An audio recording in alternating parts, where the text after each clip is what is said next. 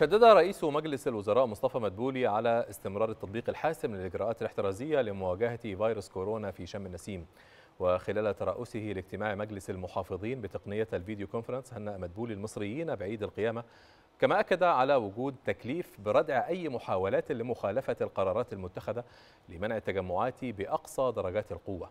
وأضاف رئيس الوزراء أن الرئيس السيسي كلف باستغلال فترة حظر حركة المواطنين في رفع مخلفات القمامة والاهتمام بالتطهير والنظافة. كما وجه الشكر للمحافظين على جهودهم في إزالة مخالفات البناء وتنظيم صرف منحة الرئيس للعمالة غير المنتظمة.